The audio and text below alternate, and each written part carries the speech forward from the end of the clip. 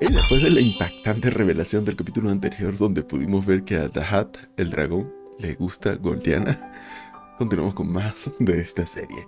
Vamos justamente con los acontecimientos posteriores a esto, así que espero hayan disfrutado, o espero disfruten, disculpen, de este contenido y de ser así, apóyanos siempre con su like y sus comentarios. Dicho esto, comencemos.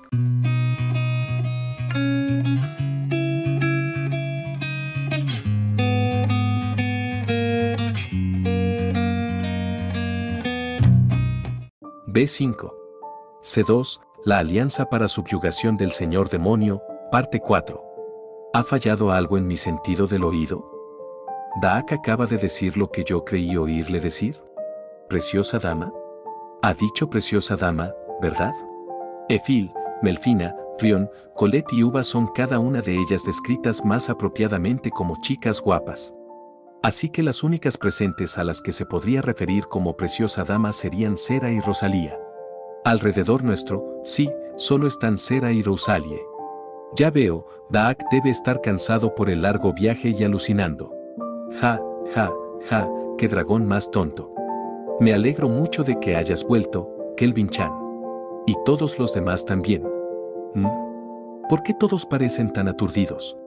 ¿Conoces a esta preciosidad, hermano? Gritó Daak, sacudiendo mis hombros enérgicamente mientras señalaba a Pretia, que había llegado hasta nosotros en el tiempo que mi mente tardó en reiniciarse. Y ahí va mi intento de negar la realidad. Ahora no hay duda de que Daak se refiere a Pretia. Oh, qué dulce. Hacía mucho tiempo que un chico guapo no era tan directo conmigo. Gracias, querido. A UGH. Pretia guiñó un ojo fuertemente, enviando un corazón súper grande volando hacia Daak, que atravesó el pecho del dragón. Fue súper efectivo. O al menos, eso es lo que aluciné. No sentí que se utilizara la magia, pero por alguna razón, seguí viendo las imágenes surrealistas. ¿Cómo puedo? He ido y... Me he enamorado a primera vista. ¿En serio? Dak, tú. ¿En serio? Pensaba que la hermana Cera era, sin duda, la mujer más bella del mundo, pero, pensar que hay alguien por encima incluso de ella. Oh, así que Cera tiene un rango tan alto a sus ojos. Espera un momento. Parece que la está halagando, pero compararla con Pretia parece más bien un insulto. Retíralo dicho. Retíralo ahora mismo. Nunca había visto un cuerpo humano tan perfecto. Oh, tú, querido, está en la cúspide de darse cuenta de una verdad básica del universo. Dios, ya no puedo seguir su conversación. ¿Cuerpo humano perfecto? ¿Está hablando de músculos? ¿Será que a los ojos de Daak, la fuerza es igual a la belleza? ¿Es la estadística de la fuerza? Pero por esa lógica. Daak, ¿cómo se ve Mel en tus ojos? Es una belleza sin igual, ¿no es así? ¿Qué? Cariño. Me siento halagada, pero la gente está mirando. Mel Sama, Kelvin Sama solo está diciendo un hecho objetivo. Oye, fanática religiosa de allí, nadie te preguntó. ¿Hermana Mel? Mm. Daak pareció pensarlo, y luego continuó telepáticamente. Es cierto que es muy bonita, pero su belleza parece un poco, eh, artificial. ¿Cómo decirlo? Es como si se hubiera maquillado con magia autofortificante. Oh, pero por favor, que esto no conste. Yo, ya veo. Solo asegúrate de no decirle nunca eso a Melfina o a Colette en persona. No vivirás para ver otro día. Sí, señor. No quiero morir todavía. Dentro de nuestro grupo, Melfina tenía la estadística de fuerza más alta. Pero era el resultado de una habilidad, lo que aparentemente la invalidaba a los ojos de Daak. No solo eso, sino que parecía verlo como algo parecido a la cirugía plástica. Mel, muéstrale cuando desciendas en tu cuerpo real y no como avatar, ¿de acuerdo? Ya lo tienes. Pero aún así, no esperaba que el sentido de la belleza de Daak fuera en esta dirección. Parece bastante claro que se basa en las estadísticas, lo que significa que no son realmente los músculos físicos los que le atraen. Espera un momento. Rosalía también es un dragón. Y ahora que lo pienso, Asgard también es bastante musculoso. Al darme cuenta, le envié a Rosalia una mirada de compasión. Lo aclaro por si acaso, pero las diferentes razas de dragones tienen diferentes ideas de belleza, ¿de acuerdo? Daak es un dragón negro. Yo soy un dragón de hielo. Sus preferencias no tienen absolutamente nada que ver conmigo. Oh, ya veo. Lo siento. Ups, eso la molestó. Lo siento mucho, querido. Ya tengo a alguien en quien he puesto mi corazón. ¿Verdad, Gerard Sama? ¿Qué? Después de la hermana Cera, ahora también Pretia Chan? Ar. Mientras estaba ocupado dándole vueltas a mis pensamientos, Daak aparentemente se había confesado y había sido rechazado en términos inequívocos. Yo. No, no puedo renunciar a este amor. Vieja armadura, no me rendiré. Recuerda mis palabras. Gritó Daak mientras salía corriendo de repente. Amigo, ¿a dónde vas? No puedo permitir que causes problemas aquí en la ciudad. En el momento en que el dragón dobló una esquina y desapareció de la vista, lo anulé para traerlo de vuelta. Ah, juventud, suspiró Pretia con una mano en la mejilla. Eh, en realidad me gustaría retirarme de la lista de candidatos, si es posible, protestó débilmente Gerard. Me aclaré la garganta. Muy bien, hemos terminado con lo que sea que fuera esto. Pretia, tenías prisa, ¿verdad? ¿Ha pasado algo? Oh, claro. Sí, así es. Me he distraído un poco. En primer lugar, buen trabajo de todos. Gracias a vuestros esfuerzos, la paz de Part ha sido protegida. Y olvídense de retrasar al enemigo, realmente los trajeron a nuestro lado. Me quedé un poco sorprendida cuando escuché tu sugerencia, pero digamos que Ryo-chan está muy contento con cómo han salido las cosas. Creo que nunca he visto al maestro del gremio Río feliz por algo. Oh, es un torpe como él. Sin embargo, es demasiado obvio para mí. Entonces, este hombre tan guapo es el príncipe Asgrad. Pretia giró la cabeza 90 grados para mirar fijamente al triceniano. Uva, que estaba de pie junto a Asgrad, se sobresaltó. Ese soy yo. Y a juzgar por tu cuerpo bien entrenado, debe ser Goldiana Pretiana. He oído los rumores. Has derrotado a muchos monstruos de rango S y has limpiado numerosas mazmorras, ¿verdad? ¿Te apetece tener un combate? Oh, vaya, está muy ocupada siendo una mujer popular. Claro que aceptaré esa oferta algún día, querido. Pero por ahora, Kelvin Chan. Sobre la situación en los frentes de batalla de Gaon y Toraj. ¿Ha comenzado la lucha? ¿Quién tiene la ventaja? Ya están aquí, murmuró la reina Tsubaki Fujiwara desde su posición al frente de sus fuerzas. En estos momentos se encontraban en la orilla del gran río que servía de frontera entre Toraj y Trisen, conocido como la cola del dragón de agua y esperaban la llegada de la Orden de los Caballeros Mágicos. Kagenui. Aquí. En cuanto Tsubaki pronunció su nombre, apareció un hombre vestido de negro. Su rostro estaba cubierto por una capucha, llevaba una cota de malla bajo su ropa y tenía espadas cortas en la cintura. En pocas palabras, parecía una ilustración del libro de texto de un ninja. ¿Has notado algo fuera de lo normal con respecto a la fuerza que se acerca a nosotros? Su general no parece estar aquí en persona. Además, todos los caballeros femeninos están equipados con armas que probablemente estén malditas, a juzgar por las ominosas auras que emiten.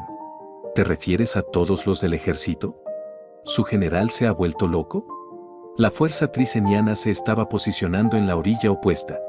Estaba compuesta en su totalidad por caballeros femeninos de aspecto galante que montaban nobles caballos blancos, pero el aire que los rodeaba parecía inquietante de alguna manera. En cualquier caso, lo que tenemos que hacer no cambia. Subaki levantó una mano. En respuesta, varias arcs se elevaron desde el río, creando olas gigantes que desplazaron enormes cantidades de agua. Estos barcos, con cañones desplegados a ambos lados, ya estaban girados con una de las bandas orientadas directamente hacia el ejército invasor. Al mismo tiempo, los soldados toragianos que esperaban en tierra levantaron objetos mágicos con forma de cañón, apuntando. Esto no es más que la escaramuza preliminar. Es hora de mostrar al enemigo la locura de enfrentarse a Toraj en una batalla tan cerca del agua. Subaki-sama. ¿Qué pasa, Kagenui? Estaba en un buen momento en mi discurso. El enemigo se está retirando. Ya veo, así que están. Se detuvo en seco. Están que, Subaki se giró para mirar a la orilla opuesta. Efectivamente, los caballeros que habían estado avanzando hace un momento habían girado 180 grados y ahora estaban volviendo sobre sus pasos. Todavía no les hemos demostrado nuestra superioridad en fuerza. ¿Mm? ¿Podría ser que algo haya sucedido en Trisen? ¿O se trata de una trampa? Kagenui investiga los movimientos de Trisen, incluyendo cómo les va en los frentes de Part y Gaun. No persigas a la fuerza en retirada. Como usted ordene, respondió el otro antes de que su figura se fundiera en las sombras y desapareciera. Noté un solo pájaro volando desde el ejército enemigo. ¿Era un mensajero? Bueno, no importa. Hombres. Seguiremos manteniendo esta posición. Y vigilad también el mar.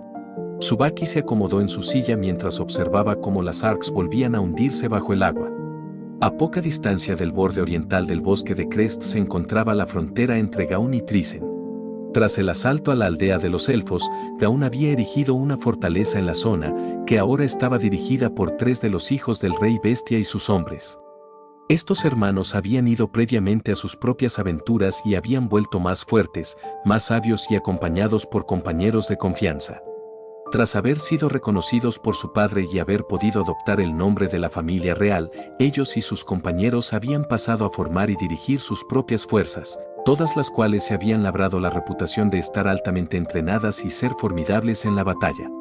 Hacía dos días que se había visto a los soldados trisenianos avanzando hacia Gaun en filas de brillantes armaduras de platino. La escala de la fuerza atacante iba mucho más allá de la de una tropa expedicionaria en misión de reconocimiento. Además, a su cabeza estaba nada menos que Dan Dalva, el hombre que, a pesar de sus años, seguía siendo el mayor combatiente de Trisen. Había pocas dudas de que se trataba de la Orden de los Caballeros de Acero. En el momento en que la noticia de su llegada llegó a la fortaleza, los gaunianos se pusieron en marcha. Inmediatamente establecieron una línea defensiva, con los tres príncipes cabalgando al frente en persona. Deténganse. Un poco más y entraran en territorio gauniano. No se les ha concedido permiso para cruzar la frontera. Regresen de inmediato. Esta fue una advertencia única. En el momento en que una bota triseniana tocara el suelo de Gaun, se consideraría un acto de invasión y la guerra comenzaría. Naturalmente, los gaunianos no esperaban que su enemigo hiciera caso a la advertencia. El anuncio no era más que una formalidad para guardar las apariencias. En el pasado habían estallado muchas escaramuzas entre sus dos naciones y las conclusiones diplomáticas posteriores a veces se veían afectadas por el hecho de que este tipo de advertencia verbal se hubiera realizado primero o no. Para sorpresa de los Best Kings, en lugar de avanzar, el ejército invasor se separó para dejar pasar a un solo hombre con armadura pesada. Llevaba un casco sobre su pelo blanco, y su armadura reflejaba la luz del sol. Era el propio general Dan. Qué gran bienvenida para un solo anciano. Bueno, no nos pongamos tan nerviosos, ¿eh? Vamos, he traído vino hecho en nuestro país como regalo. ¿Qué tal si nos sentamos y... El general cruzó la frontera mientras sostenía una botella de vino, todavía charlando. Al final de la Gran Guerra se habían erigido allí dos monolitos de piedra para delimitar la frontera entre las naciones. En el momento en que el veterano triseniano pasó por uno de ellos, una flecha salió volando de la fortaleza y atravesó la botella que tenía en sus manos, derramando lo que seguramente era un alcohol muy caro por todas partes. Y aquí estaba yo, esperando que pudiéramos arreglar esto pacíficamente, suspiró Dan, que seguía adelante. Hemos dicho que se detengan. El primero en adelantarse con su escuadrón fue el mayor, Gereolgaun, que poseía una excepcional destreza en la batalla, como correspondía al primer hijo que recibió el nombre de Gaun. De hecho, era tan experto en el combate a mano limpia que había sido el quien había servido de maestro a Goma. Aunque su rango de aventurero nunca había pasado de A, tenía experiencia en derribar a un monstruo de rango S por su cuenta. Mientras sus subordinados formaban un perímetro con sus lanzas en alto, Gereol irrumpió con la característica fuerza explosiva de los Bestkin. Acortando la distancia con Dan en una fracción de segundo, lanzó su movimiento más poderoso, y falló. El anciano esquivó fácilmente el ataque con una velocidad que parecía desafiar la pesada armadura que llevaba, sin inmutarse en absoluto por las numerosas puntas de lanza que le apuntaban. Esto es un poco fuerte, pero ten paciencia, murmuró Dan mientras lanzaba un golpe con la palma de la mano ahuecada con un pequeño contenido de vino aún en ella. La cara de Jereol se encontró con la palma y el vino cuando se abalanzó sobre él. Jun un dolor más allá de las palabras le asaltó. El golpe de la palma se sintió como si chocara con una roca y el alcohol se había metido en sus ojos. Incluso un maestro guerrero no podría soportar eso sin reaccionar. Jereol Sama. No me subestimes. Aún así, Jereol consiguió superar el dolor y agarrar el brazo extendido de Dan, encerrándolo con éxito. Aunque quizás con éxito no era del todo correcto. Era una llave de sumisión que debía causar el mismo dolor a todas las víctimas, independientemente de lo fuertes o débiles que fueran, pero Dan parecía totalmente imperturbable. En lugar de eso, levantó tranquilamente el brazo que Jereol tenía agarrado en el aire. No te preocupes por mí. Apuñálalo, gritó el príncipe sin dejar de sujetarlo. Las tropas de élite de Gaun empujaron obedientemente sus armas hacia adelante. Apuntaron con precisión a los puntos débiles de la armadura de su oponente, como los cierres, las articulaciones y el cuello. Una tras otra, las puntas de lanza se abrieron paso. Sin embargo, ¿qué? Mi lanza no se mueve. Las puntas de lanza perforaron la armadura de Dan, pero las armas parecieron quedar bloqueadas por algún poder increíble. Al menos, esa fue la sensación que sintieron todos los lanceros al otro lado de las astas. Dejando de lado a la chusma, la fuerza de este Bestkin es de unos 600, no, 700, pensó el general. Más o menos igual a la de Asgrat Sama, diría yo. Pero aún le queda un buen trecho por recorrer. El viejo soldado agarró una de las lanzas que le atravesaban el cuello con el otro hombre aún aferrado a ella, con la mano izquierda y empezó a blandirla contra las tropas que le rodeaban. Gu. Ak. Cada vez que Dan blandía la lanza, las tropas gaunianas caían como fichas de dominó, llenando el aire de gemidos de dolor. Cuando la lanza se rompió, arrancó a la fuerza a Jereol del brazo y procedió a balancearlo como un arma. Pronto, ya no quedaba nadie sujetando las armas que se clavaban en su armadura. Las lanzas cayeron todas a la vez, repiqueteando con fuerza. No había ni una gota de sangre en ninguna de las puntas. Cuando los hombres de Gaunianos volvieron a ponerse en pie, encontraron a Dan con su gran espada ya desenvainada. Al igual que su armadura, parecía estar hecha de platino y tenía un diseño sencillo y funcional. Le bastó un golpe horizontal para generar una ráfaga de viento lo suficientemente potente como para lanzar por los aires a los adversarios que le rodeaban hasta llegar a la fortaleza, estrellándolos contra las fortificaciones. Jereol estaba entre ellos, pero resultó ser el que chocó con las puertas cerradas. El impulso fue tan grande que las atravesó y aterrizó en el patio. La visión del primer príncipe inconsciente en el suelo mermó mucho la moral de la fuerza gauniana con solo blandir una lanza y una espada, de una manera que no parecía implicar ninguna técnica, el general Dan ya había dejado a una parte de las tropas de su enemigo incapacitadas para la batalla. No puede ser. Jereol ha sido derrotado. No vacilen. Arqueros, fuego. Una nube de flechas descendió desde la fortaleza como una lluvia de muerte. Sin embargo, el General Dan no se movió. De hecho, había clavado su espada en el suelo ante él para demostrar que ni siquiera la necesitaba. Allí estaba, completamente quieto, esperando cómodamente a que el torrente de proyectiles cesara. ¿Por qué? ¿Por qué no recibe daño? ¿Por qué no cae? Finalmente, el viejo general ordenó, infantería pesada, adelante. Las tropas con armadura completa y equipadas con grandes escudos y alabardas avanzaron al unísono cuanto más fácil habría sido mi trabajo si se hubieran rendido. Pero como han elegido defenderse, no tengo otra opción. De acuerdo con las órdenes de su Majestad, los aplastaré. Ok, sin duda alguna este general es realmente poderoso. Mis amigos, ¿qué será lo que sucederá con esto? Es algo que descubriremos a medida que avancemos en la historia. Pero sin duda alguna va a estar bastante interesante. Así que no dejen de estar al pendiente de la playlist. Por otro lado, ¿por qué se habrán retirado las fuerzas en Torat? ¿Qué piensan ustedes? ¿Una estratagema? ¿Un ataque por la retaguardia? Bueno, eso también lo sabremos más adelante. Así que vamos a continuar con la historia. Hasta luego, Gutenberg.